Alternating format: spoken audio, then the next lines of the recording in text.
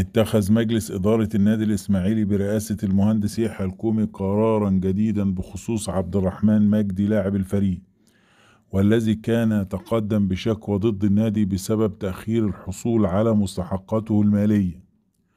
وقال يحيى الكومي رئيس النادي الإسماعيلي في تصريحاته تصرف عبد الرحمن مجدي مؤسف للغاية خاصة إننا قمنا بتعديل عقده مؤخرا ليصبح من بين الفئة الأولى ضمن لاعبي الدراويش المميزين. وأضاف الكومي مجلس إدارة النادي الإسماعيلي قرر عرض عبد الرحمن مجدي للبيع بناء على رغبته. وذلك بعدما أكد اللاعب تلقيه عروضا للاحتراف خارج مصر. وأكد رئيس الإسماعيلي أن اللاعب تعمد شكوى النادي في هذا التوقيت للضغط على مجلس الإدارة للموافقة على رحيله عن النادي والإحتراف في الخارج.